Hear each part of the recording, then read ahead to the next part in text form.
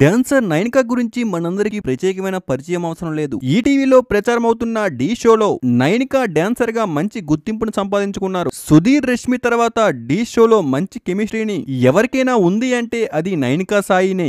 నైనికా సాయికు బుల్లితెరపై మంచి క్రేజ్ దక్కింది. ప్రస్తుతం యూట్యూబ్ ఛానల్ ద్వారా వీళ్ళకి సంబంధించిన అప్డేట్ని ఎప్పటికప్పుడు షేర్ చేస్తూ ఉంటారు. సాయి అలాగే నైనిక డి షోలో ప్రేమించుకుంటున్నామంటూ స్టేజ్ పైన చెప్పేశారు. త్వరలో పెళ్ళి కూడా చేసుకుంటామంటూ తన అతగారిని కూడా పరిచయం చేశాడు సాయి. డి షోలో వీరు చేసే ఒక్కొక్క డాన్స్ పర్ఫార్మెన్స్ అయితే కెమిస్ట్రీ పండిస్తూ ఎంతో చూడడానికి రెండు కళ్ళు కూడా సరిపోవు. ప్రస్తుతం ఇద్దరు బుల్లి తెరపై అలరిస్తూనే ఉంటున్నారు. ఈ టీవీలో ఎన్నో షోస్లో కూడా కనిపిస్తూ సంద- సందడి చేస్తున్నారు. అయితే వీళ్ళిద్దరూ ప్రస్తుతం విడిపోయారంటూ సోషల్ మీడియాలో వార్తలు వైరల్ అవుతున్నాయి. నైనికా మరో డబ్బున్న వ్యక్తిని పెళ్ళి చేసుకుంది అంటూ సోషల్ మీడియాలో వార్తలు వైరల్ వైరల్గా మారాయి. దానికి సంబంధించిన ఒక ఫోటో సోషల్ మీడియాలో చెక్కేలు కొడుతోంది. ఈ ఫోటో ఫేక్ అంటూ కొట్టిపడేస్తున్నారు అభిమానులంతా. అయితే ఈ ఫోటో ఒక షార్ట్ ఫిల్మ్లోని సాంగ్ది అని తెలుస్తోంది?